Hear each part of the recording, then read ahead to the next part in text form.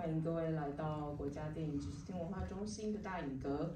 呃，我是婉玲，在座应该有蛮多人认识我的。那我是今晚的主持人啊，我也是台湾国际纪录片影展的影展统筹。非常欢迎各位来参加二零二二年第十三届 TID 台湾国际纪录片影展。OK，以上应该是我今天晚上最严肃的部分了哈，所以大家接下来就是放轻松就好。那我有准备很多稿，那我尽量念哈，那大家就忍受我一下。好，嗯，我其实今天晚上还是很紧张。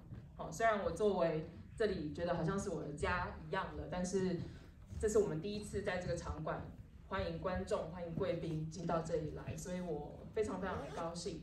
那过去三年来，其实对于一个现场性的影展，哈，就是现场必须要有人跟人的接触的这样子的活动，我们其实是非常非常的紧张的，哈，遇到了很大的挑战。那在这些挑战之中呢，我们也是在思考要怎么样透过策展，怎么样透过放映的规划、活动的规划，去反映我们身处的这个当下。那这一切都非常非常的不容易，那也是在场的所有贵宾或者是创作者伙伴们给我们非常多的支持。那嗯，纪录片其实一直都承载着社会的脉动，所以在影展的我们这几年来一直强调的核心精神，也叫做再见真实。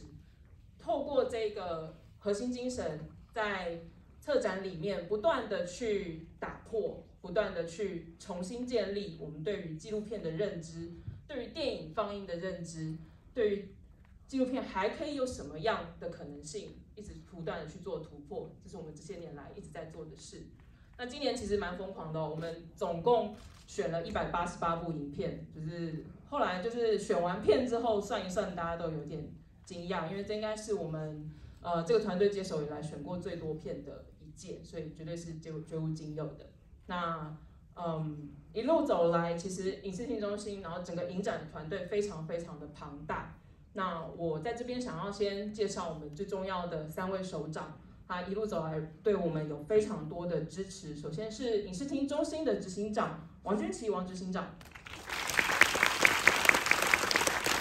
好，接下来我们有两位副执行长，分别是陈德林陈副执行长，然后以及林佳慧佳慧副执行长。哦那我可能接下来想邀请执行长来为我们说几句话吧。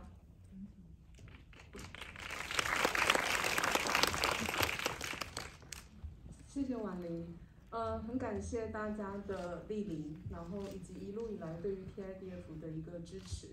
嗯，去年我们在办完之后，马上就进入到三级警戒。我们一方面很庆幸，那二方面团队们也说。马上就要连续的再一年办影展，其实会有一种疲惫感。然后正当我们很安心、很庆幸的觉得今年影展可以顺利举行的时候，此刻的我们其实，在日常当中也有很多很多的不安。我昨天晚上突然觉得，这好像纪录片，好多好多预期之外的发生。这些预期之外的发生，有时候它的力量之大，会让你觉得好不真实。可是正是这些不真实，可能才是真实的一个模样。所以我想，我们今天能够在这里，那大家大概会注意到我们缺席的男董事长。那也因为正在作为密切接触者，所以正在居家隔离当中。但是他跟我们其他的同事目前都一切平安。所以我想，我们都很珍惜能够在此刻，同样的还是可以齐聚一堂，观赏这么精彩的纪录片作品。一九九八年，台湾国际纪录片影展，在当时的文件会的呃这个呃。主管单位之下成立，大家有机会可以到我们二楼的先影现身的长设展现场，有一张一九九八年的照片。那上次阿修导演看到，还特地拿手机照了下来，好跟大家分享。二零一四年，纪录片团队进入到了国家电影中心，开始去强调纪录片的遗产电影的一个面向。时光台湾跟台湾切片成为 TIDF 非常重要而且很获得好评的单元。我想这都是嗯不同的一个向度能够。集合起来发挥力量，非常非常重要的一个成果。那我们在今年开幕了，也像婉玲刚刚讲的，今天可以在这里，在自己的家办开幕、办展览，其实意义格外不同。所以很谢谢大家，也希望大家在接下来的十天可以跟我们好好的享受最坚实而且是最厉害的 TIDF 影展团队，带给我们非常非常令人期待的飨宴。谢谢。谢谢执行长。所以我刚刚稿前面有一段没念到，但是执行长帮我讲了，就是嗯，TIDF 是一个双年展，然后双年展在影展圈里面其实是一个非常稀有的东西，就是世界上现在剩下的双年展，而且是纪录片的，我觉得应该一只手就数完了吧，木材对吧？对，所以当去年办完了影展，今年又接续要办影展的时候，其实想来是非常非常头痛的事情，然后也让我们。被丢到一个完全不熟悉的节奏里面，那当然大家还是非常努力，所以今天我们各位才有办法坐在这里一起来欣赏这个影展。那这一路走来，其实当然也要特别感谢文化部的支持。那今天我们也很高兴，文化部影视司的次长也有来到现场，我们想欢迎李金惠李次长。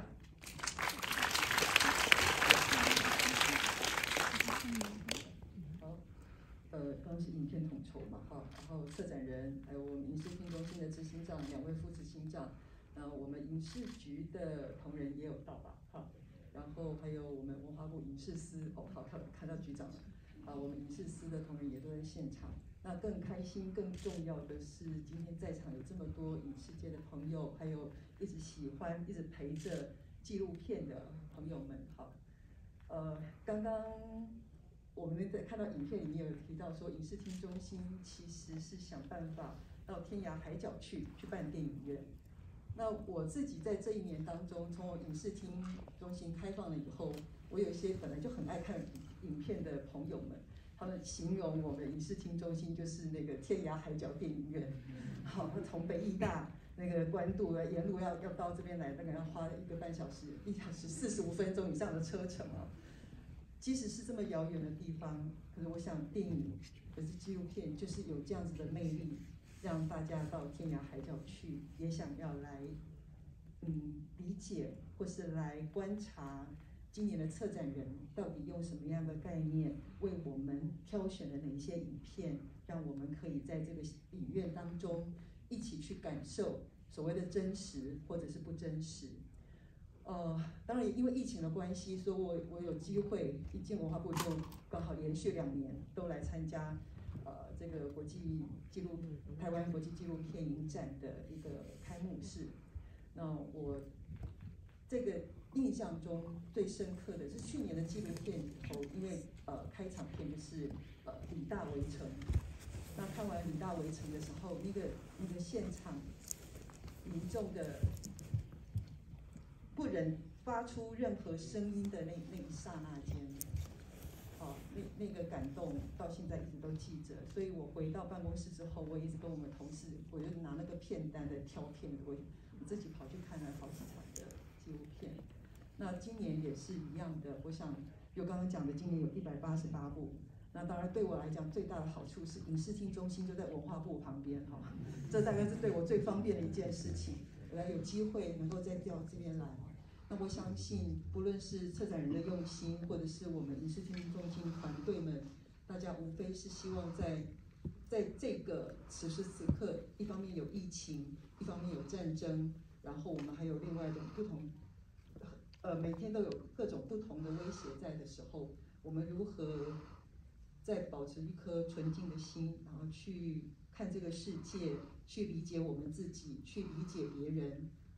跟我们的相同或与不同，我想这是国际呃纪录片影展里面可以带给我们的最大的愉快，也是最大的一个学习啊！在这边欢迎各位，即使我们在新庄是远了一点吧，好，还是一样要支持影视厅中心，就就请先呃观赏今年的纪录片开始，到新庄来看电影。谢谢大家，谢谢。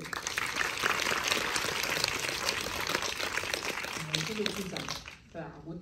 我觉得我们今年一直到现在，其实，呃，在我们公布就是今年的场馆有哪些之前，其实大家都一直在问，是不是会在新庄，是不是会在新庄，怎么办？我今年怎么赶场？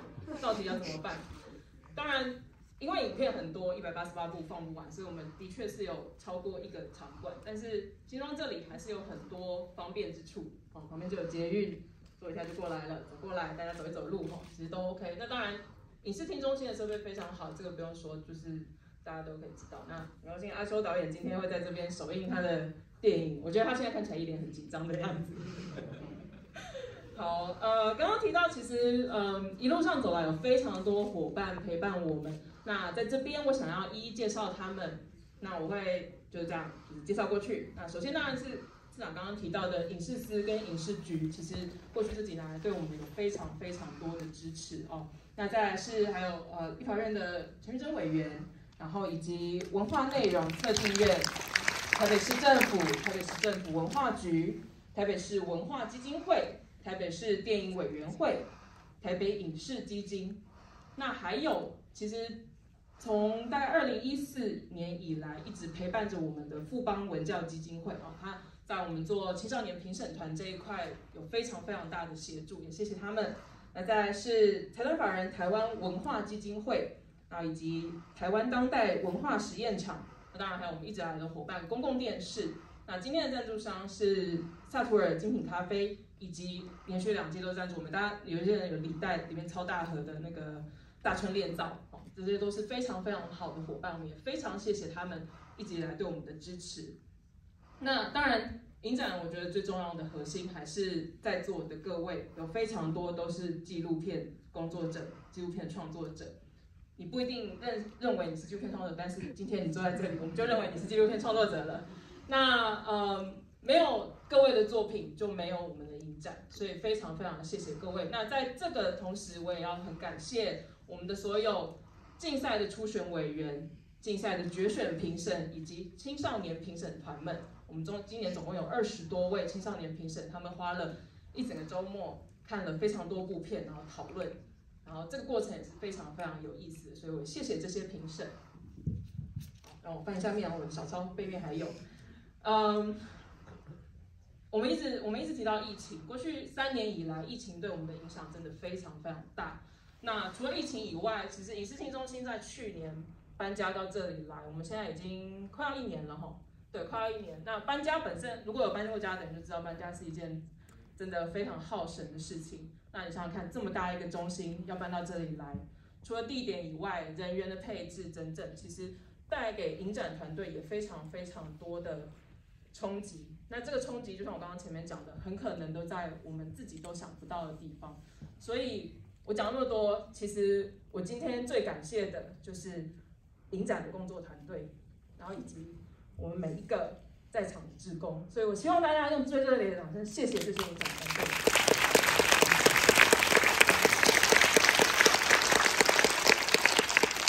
好，我的我的话说完了，那就换木材来喽。我们最熟悉的。TID 和策展人木材为我们介绍今年的影展。哦，谢谢哈。确实像执行长讲的，很不真实，但又是真实。那到底什么是真实？哈，大家可以在 TIDF 选一部片，然后去体验到底什么是真实。那我跟我跟婉玲工作或认识至少有十年了。那我今天觉得他好像有脱口秀演员的潜力。好，那我想分享一些我自己工作的心得啦。我第一次做 TIDF 应该是二零一零年，哦，那时候的策展人王耿瑜，他今天也在场哦，他找我一起合作，那个时候是二十八岁，哦，二十八岁。那我二十八岁的时候，其实我没有工作。那我是写电影评论出身的，那而且我写的是非常冷门的纪录片，所以我也不觉得我自己未来会有一份工作，但我总梦想着说能够养活自己，而且是靠自己喜欢的职业，到底要怎么进行下去？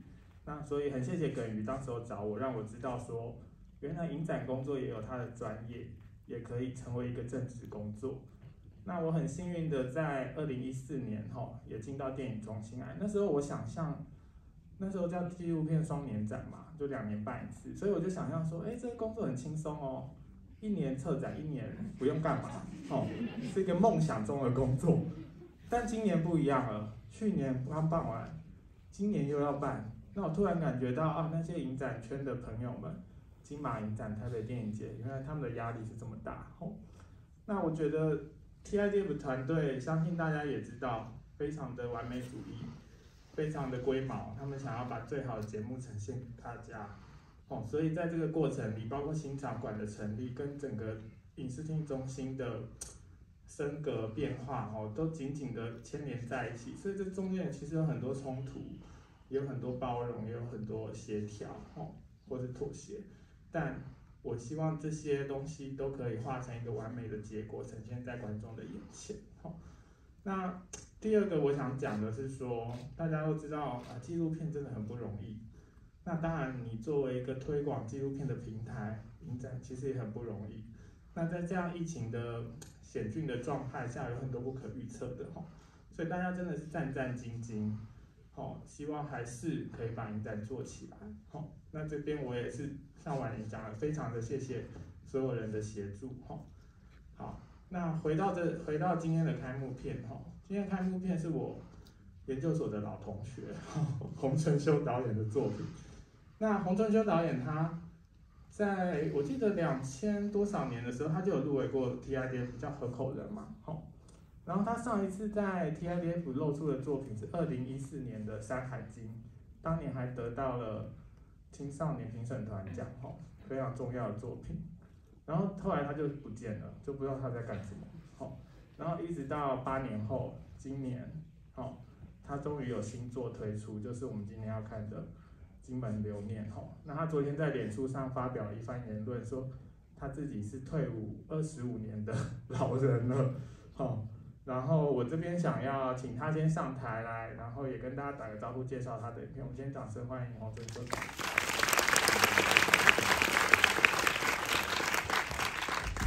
好，那我我要讲一个很特别的事情哈，这个应该是哈台湾电影，台湾电影哦。第一次正式的在一个影展，而且是在影视厅中心的大影阁做世界首映。阿修，你有看过你的作品在这么大的荧幕放过吗？没有，没有，没有。啊，你有没有什么想跟观众讲？呃，其实我不是二十五岁的老人，我是二十五岁生日。因为男生有两个生日，一个是吃蛋糕那天，一个是领退伍令那天呐。哦，所以我觉得说，哎，呃，退伍是重生嘛，哈，可是。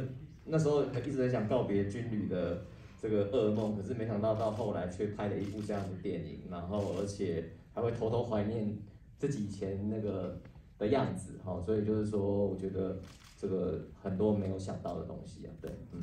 那我们也知道说啊，上一次我记得你入围的时候，你好像还蛮轻便的哈，然后你又花了八年拍这个片子，小朋友都长大了，所以。你要不要谈一下为什么花那么久？然后这个片子大概在讲什么？嗯，花那么久，那个是小弟不才，然后因为还要花一些时间去试农工商，所以我都趁寒暑假的时候去拍片，然后然后花了那么久的时间，也是因为我觉得三个被摄者，呃，比较不容易进入他们的生活，所以也花了蛮多时间去填掉，跟跟跟跟他们玩话这样子，对对对。好，那这个片子哈跟金门有直接的关系。那阿修甚至他拍到被被有些评审认为说，哎，这个是金门人拍的作品哦，所以你得我知道你是新北人啊，好，那等一下我们自己可以体会一下。好好好，那我们话不多说，好，我们就先把主持棒交给。好，那两位先留在台上。那我想。我们在看金门留念之前，可能要先在新庄留念，所以我想请前面各位呃次长、执行长，哎两位副局长，我们上来请留念，然后还有赵敏以及洪润。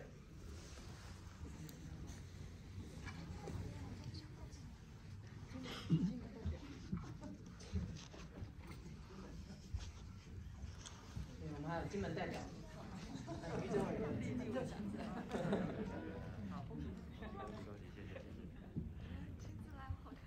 好，我们大会的摄影在中间这边啊，看中间。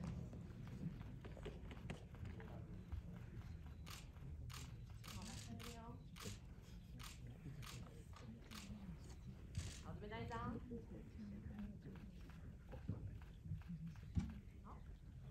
好，那就谢谢各位喽。那呃，那也请工作人员带我们的贵宾到呃观影的位置。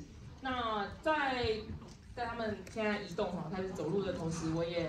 有一些就是电电脑的话，在这边稍微讲一下了哈，就是 等一下，其实其实映后还会有映后座谈啊，阿修导演当然会跟我们分享更多影片拍摄跟他这八年来做这部影片的一些心得等等的。那映后座谈之后呢，在外面刚刚大家来的这个大厅，大厅也会有酒会餐盒，有酒可以喝。刚刚进来前有人问我说今天到底有没有酒？有有有，今天有酒可以喝。好，好，那也欢迎各位留下来交流。那当然，疫情的期间，我还是想要再一次不厌其烦地提醒各位，就是口罩，然后以及社交距离，以及手部消毒。那在接下来就希望大家观影愉快喽。